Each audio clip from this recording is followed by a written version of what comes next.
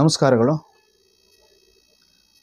ದಿನಾಂಕ ಮೂವತ್ತೊಂದು ಹನ್ನೆರಡು ಎರಡು ಸಾವಿರದ ಇಪ್ಪತ್ತೊಂದರ ದಿನಾಂಕದಂದು ನಾಡು ನುಡಿ ಜಲದ ವಿಚಾರವಾಗಿ ಏನು ಈ ಎಂ ಇ ಎಸ್ ಪುಂಡರು ಮಾಡಿದ್ದರೆ ಆ ದೌರ್ಜನ್ಯದ ವಿರುದ್ಧ ಕರ್ನಾಟಕ ಬಂದ್ಗೆ ಎಲ್ಲ ಸಂಘಟನೆಗಳು ಕರೆ ಕೊಟ್ಟಿರುವ ಬಂದ್ಗೆ ಎಲ್ಲ ಕನ್ನಡ ನಾಡಿನ ಸಮಸ್ತ ನಾಗರಿಕರು ಸಹ ಶಾಂತಿಯುತ ಬಂದ್ಗೆ ಸಹಕರಿಸಬೇಕೆಂದು ಎಲ್ಲರಲ್ಲೂ ಸವಿನಯ ಮನವಿ.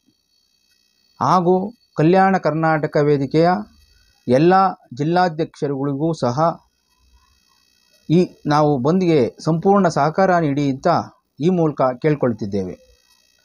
ದುಮ್ಮೇನಹಳ್ಳಿ ಅಶೋಕ್ ಕುಮಾರ್, ಕಲ್ಯಾಣ ಕರ್ನಾಟಕ ವೇದಿಕೆ ಸಂಸ್ಥಾಪಕರು ಹಾಗೂ ರಾಜ್ಯಾಧ್ಯಕ್ಷರು.